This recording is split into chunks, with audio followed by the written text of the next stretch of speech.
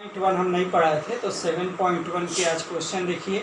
Seven point one में जो है, वो छः क्वेश्चन दिए हुए हैं। तो छः क्वेश्चन हम कैसे सॉल्व करेंगे? उसमें पहला क्वेश्चन ये दिया हुआ है। पहला क्वेश्चन क्या दे रहा है कि लिखा है अंक वन टू थ्री फोर तथा फाइव से। तो कितने अंक हैं? पाँच अंक हैं। उसमें से कितनी संख्या बनानी? है तीन अंक अंकीय संख्या बनाना है। तीन अंक की संख्या बनानी है। बनाई जा सकती है यदि कंडीशन दो दिया है। यदि अंकों की पुनरावृत्ति की अनुमति हो।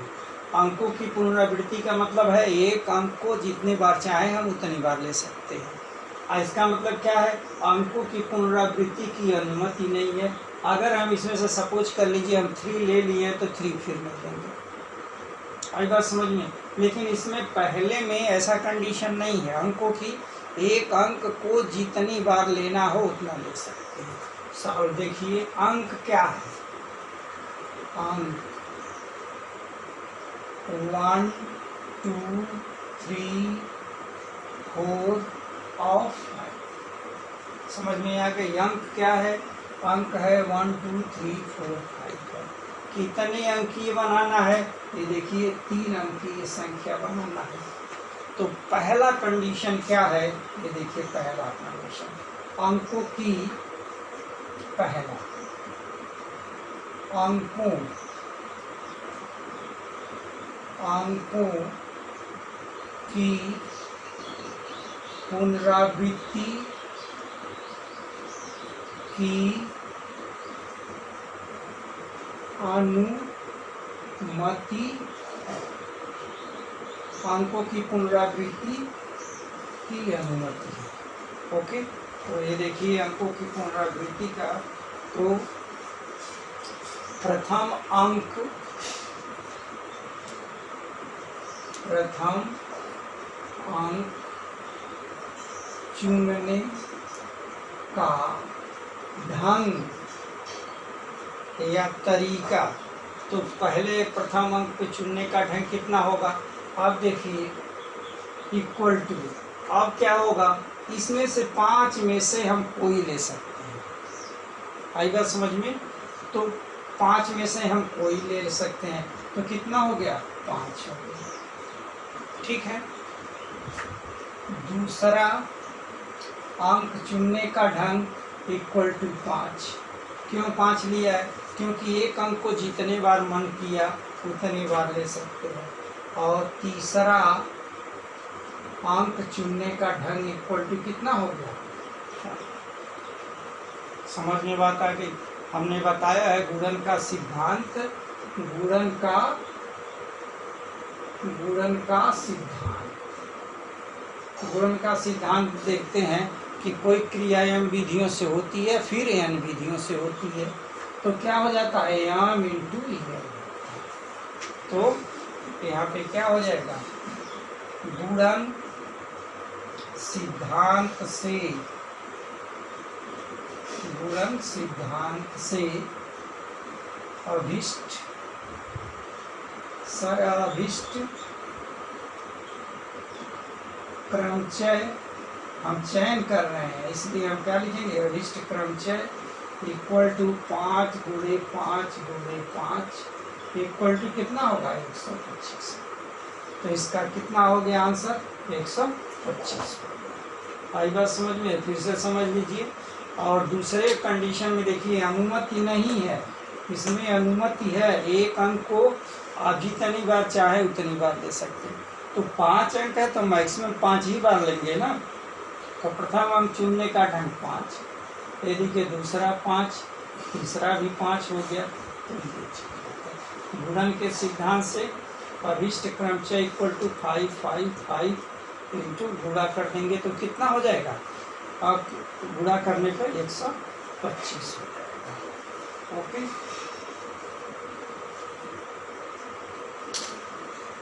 अब देखिए क्वेश्चन नंबर, इसमें क्या कह रहा है? दूसरा। दूसरा क्या कह रहा है? कि अंकों की पुनरावृत्ति की अनुमति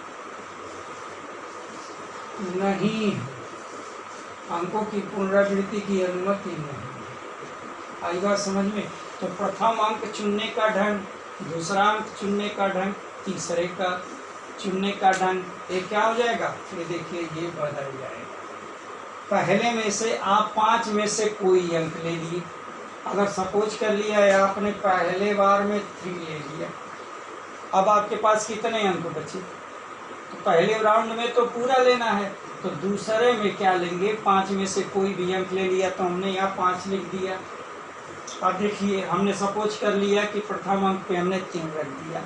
तो अब बचा क्या है? एक, दो, तीन, चार, क्योंकि अंकों की पुनरावृत्ति की अनुमति नहीं है तो दूसरा क्या हो जाएगा? चार हो गया। अब सपोज़ कर लीजिए, दो अंक हमने ले लिया, दो ले लिया, तीन ले लिया। अब कितना बचा है? वन टू थ्री तीन बचा है तो यहाँ पे तीन आई बात समझ में? दोनों में अंतर समझ लीजिए कि अंकों की इसमें पुनरावृत्ति मान्य है, इसमें अंकों की पुनरावृत्ति मान्य नहीं है तो गुणन सिद्धांत से अभिष्ट क्रम च इक्वल टू क्या होगा? पाँच गुड़े चार गुड़े तीन। पाँच चौका बीस बीस तीन आई साठ। कितना होगा? बीस तीन आई साठ, इसका क्या होगा? बात समझ में आ गई? थी क्वेश्चन नंबर क्या है? ये फ़र्स्ट अब देखिए क्वेश्चन नंबर सेकंड देखिए क्या लिखा हुआ है।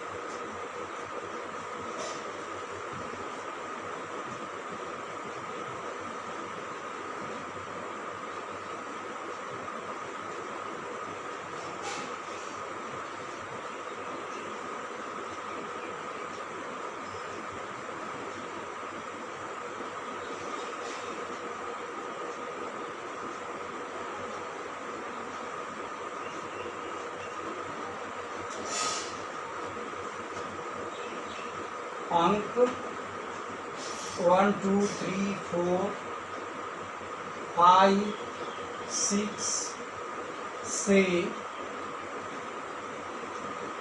कितनी? तीन अंकीय सम संख्याएँ बनाई फोर, फाइव, सिक्स से कितनी तीन अंक की सम संख्या बनाई जा सकती है? अब देखिए, सम संख्या और विषम संख्या आप जानते ही होंगे कि इकाई के स्थान पे अगर ये सम संख्या जैसे two four six eight zero होता है तो सम संख्या होती है। तो यदि अंकों की पुनरावृत्ति की जा सकती है तो देखिए इसमें अगर सम संख्या चाहिए तो इकाई के स्थान पे दो चाहिए। नहीं, चार चाहिए, नहीं छः चाहिए। समझ में बात आ गई? तो क्या लिखेंगे? सर्वप्रथम तो देखिए। सर्व प्रथम क्या यहाँ से लिखिए। अंक one two three four five six ए अंक ठीक है ना? तो सर्वप्रथम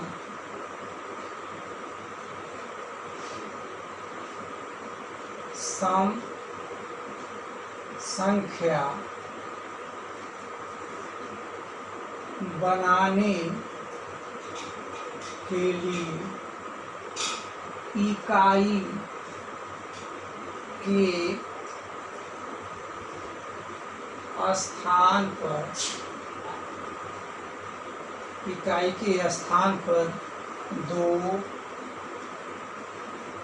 चार तथा छ में से कोई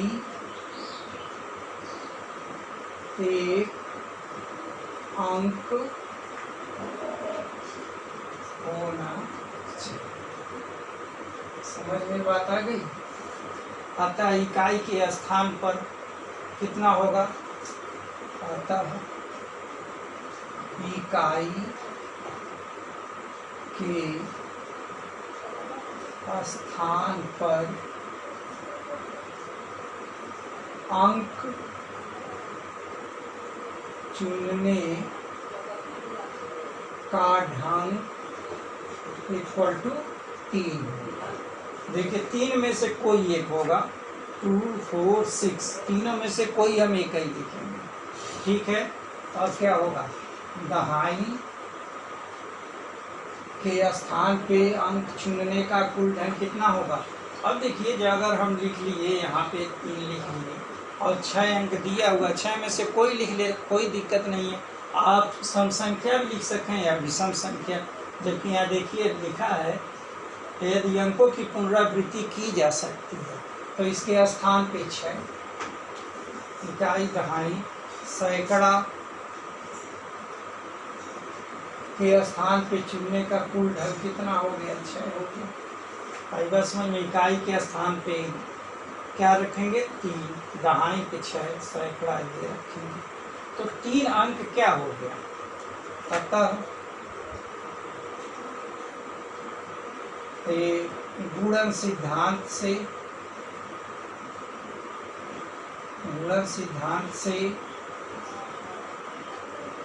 ये क्या हो जाएगा? इसको सपोज़ कर लीजिए एम हो गया, ए एन हो गया, ए एन हो गया ए पी हो गया तो गुणन सिद्धांत क्या कहता है? एम गुड़े एन गुड़े गुड़े पी से, इक्वल टू, इसका में गुड़ा कर दें। Three into six into six equal to एक सौ आठ हो गया छत्तीस छत्तीस दिया एक सौ आठ बस समझ में आ गया? आर आप इतना नहीं लिखना चाहें, इतना लिखिए। अतः यहाँ अभिष्ट क्रमचय क्रम से जो चयन किया गया है, वो क्या है? ये तीन अंकीय बनाना नंबर एक, नंबर दो, ये नंबर तीन। आप देखिए। अभिष्ट क्रम इक्वल टू एक, दो, तीन तीन अंकीय संख्या यहाँ दिया है तीन अंकों की संख्या चाहिए। तो क्या हो जाएगा? यहाँ पे तीन में से कोई एक रख देंगे। यहाँ अंकों की पुनरावृत्ति मान्य है। अंकों की पुनरावृत्ति का मतलब क्या होता है? आप जितने बार लेना चाहें, उतने बार ले सकते हैं। ए हो गया, ए हुआ छः ए हुए छः हो गया इसमें गुड़ा कर दीजिए, छत्तीस। गुड़े तीन इक्वल टू एक सौ आठ गया समझ में बात आ गई।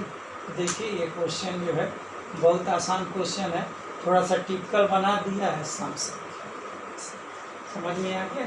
तो इस तरह से इस एक्सरसाइज के लिए क्वेश्चन है। क्वेश्चन नंबर दो। ओके अगर दूसरा तरीका ये होता है अब क्वेश्चन नंबर क्वेश्चन नंबर तीसरा। क्वेश्चन नंबर तीसरा। हमने आपको एक फार्मूला बनाया है। एक बताया है कि N P R equal to factorial N factorial N minus N ये फार्मूला बताया है कि नहीं बताया है? ये फार्मूला में अगर असमान वस्तुएँ एन है, उसमें से हम आर वस्तुएँ ले रहे हैं तो क्या बनेगा? एन पी आर बनेगा? आई बात समझ में? उसी तरह से क्वेश्चन नंबर देखिए तीसरा दे रहा है। अंग्रेज़ी वर्णमाला के दस अक्षरों में से। अंग्रेज़ी वर्णमाला में अंग्रेज़ी वर्णमाला में में प्रथम दस, प्रथम दस अक्षरों में से कितना लेना है? चार अक्षर का क्या बनाना है? कोड बनाना है। चार अक्षर का कोड बनाना है। तो कह रहा है, यदि अक्षरों की पुनरावृत्ति नहीं हो तो नहीं की जा सकती है यदि किसी अक्षर की पुनरावृत्ति नहीं की जा सकती है। तो ये बताना हमको कितना कोड बनाना है। तो यन की जगह पे क्या है? तो दस अक्षर में से कितना ले रहे हैं? चार ले रहे हैं। तो ये किसके बराबर है? यन इक्वल टू दस और चार किसके बराबर है? आर की बराबर है। समझ में बात आ गई? तो यहाँ पे क्या लिखेंगे? टेन पी फोर लिखेंगे। और टेन पी फोर की वैल्यू निकाल दें। आई बात समझ में तो टेन की value factorial ten upon factorial ten minus four equal to factorial ten upon factorial six अब इसको तोड़ दीजिए। तो कितना होगा? टेन गुड़े नाइन गुड़े एट गुड़े सेवन गुड़े six factorial six upon factorial six ये देखिए फैक्टोरियल सिक्स कैंसिल हो गया। ठीक है? ये देखिए, आठ में नौ का गुड़ा करेंगे तो दस में सत्तर गुड़े नौ अठे बहत्तर हो गया। अब एक ज़ीरो बढ़ा दिए और सात दूना चौदह को चार हो गया और हासिल एक हुआ सात सत्य उनचास एक पचास हो गया। इसका क्या हो गया? आंसर हो गया। आप ऐसे लिख सकते हैं। कई बात समझ में? अब देखिए, ये क्वेश्चन नंबर तीसरा हो गया। चौथा आप करेंगे, ये इसी तरह का क्वेश्चन है। ज़ीरो से सौ दस, नौ के बीच में पाँच अंक के टेलीफोन नंबर बताना है। सिक्स सेवन दिया हुआ है, इसको आप करेंगे। अब हम बताएँगे आपको क्वेश्चन नंबर फाइव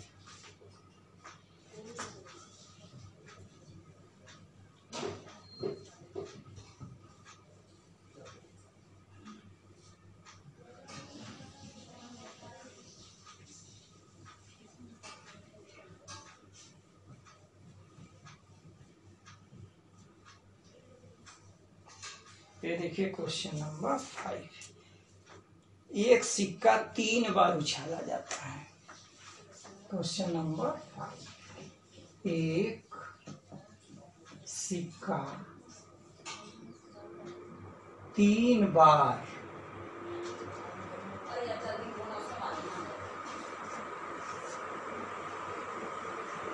तीन बार उछाला जाता है और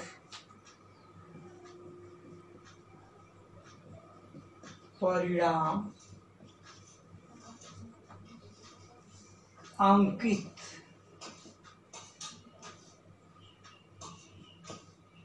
परिणाम अंकित कर लिए जाते हैं।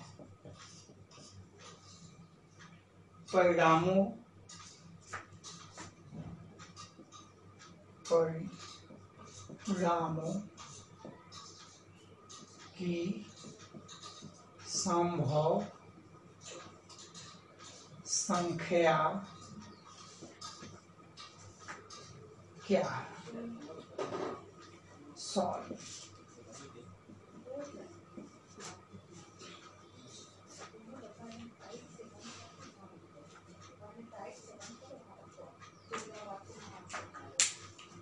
ये देखिए, एक सिक्का को हम उछालते हैं तो क्या आता है? उसके परिणाम क्या होगा? भैया आपने ये टेंथ में प्रायिकता में पढ़ा होगा।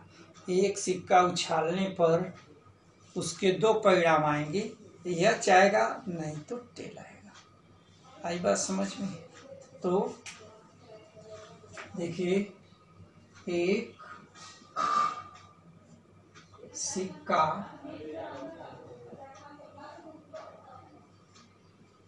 उछालने पर प्राप्त परिणाम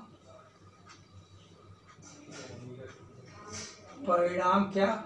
या नहीं, त्रुटि, यानी परिणाम क्या हो गए? दो हो गए। आई बात समझ में? एक सिक्का को उछालने पर ये प्रथम बार में उछालने पर देखिए ही सिक्का, तीन बार उछाल रहा है। तो प्रथम बार सिक्का उछालने पर प्राप्त परिणाम दो। दूसरे बार उछालने पर प्राप्त परिणाम दो। तीसरे बार भी दो। आई बात समझ में? तो लिखेंगे, अतः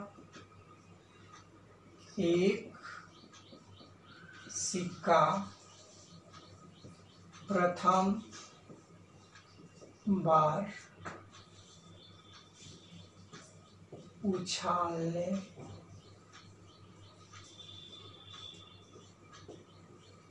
पर प्राप्त परिणाम इक्वल टू दो। एक सिक्का ये है, दूसरी बार उछालने पर प्राप्त परिणाम दो। एक सिक्का आई तीसरी। बार उछालने पे प्राप्त परिणाम इक्वल टू जी ठीक है? तो कह रहा है परिणामों की संभव संख्या बताइए। अतः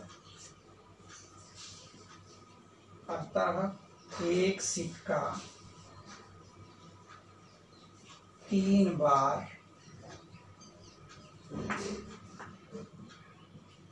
उछालने पर प्राप्त परिणामों की संख्या इक्वल टू कितना होगा? Two into two into two equal to कितना हो गया? आंसर उसका एट हो गया। बात समझ में आ गई? अब देखिए एक सिक्का उछालते हैं तो यह चौटी मिलता है, परिणाम इसको यह चेक है, दो हो गया। तो यही चीज़ हमने लिखा है। या तो एक सिक्का प्रथम बार उछालने पे दो, दूसरी बार में दो, तीसरी बार में दो। तो ये कौन सा सिद्धांत है? ये गुणन सिद्धांत है। तो यहाँ पे लिख सकते हैं गुणन सिद्धांत से। समझ में बात आ गई? ये देखिए गुणन सिद्धांत से। हो गया। हाँ ये देखिए, छोटा सा क्वेश्चन है क्वेश्चन नंबर सिक्स सिक्स में कह रहा है भिन्न भिन्न रंगों के पाँच झंडे हैं। तो एन बराबर कितना हो गया? पाँच झंडे हो गए। जिसमें से भिन्न भिन्न संकेत बनाए जा सकते हैं। यदि प्रत्येक संकेत में दो झंडे लगते हैं आर बराबर दो हो गया। ठीक है? इसी का इसमें मान रख देना है। Five P two equal to factorial five. Factorial five minus two, यानी factorial five upon factorial three. इसी को सॉल्व कर दीजिए वही आंसर होगा। Five four three factorial three और फैक्टोरियल थ्री एक कैंसिल हो गया, आंसर बीस हो गया। आई बात समझ में? इस तरह से ये आपका एक्सरसाइज खत्म होता है। सिर्फ़ हमने एक क्वेश्चन नहीं बताया क्वेश्चन नंबर थर्ड वो आप खुद करेंगे, नहीं आएगा तो आप भेजेंगे क्वेश्चन हम कर देंगे। ओके